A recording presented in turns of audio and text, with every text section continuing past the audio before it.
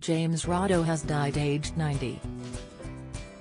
The playwright, actor and composer, best known as co-creator of musical Hair, died in hospital in Manhattan on Tuesday. His publicist and longtime friend Merle Frimark confirmed the sad news to the New York Times, revealing that he died from cardiorespiratory arrest.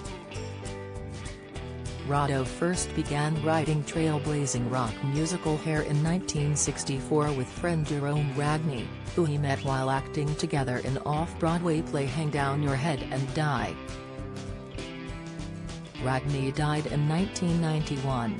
Opening up about their friendship at the time, he said, We were great friends.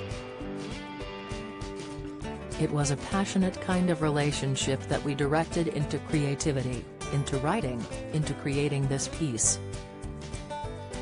We put the drama between us on stage. There was so much excitement in the streets and the parks and the hippie areas, and we thought if we could transmit this excitement to the stage it would be wonderful.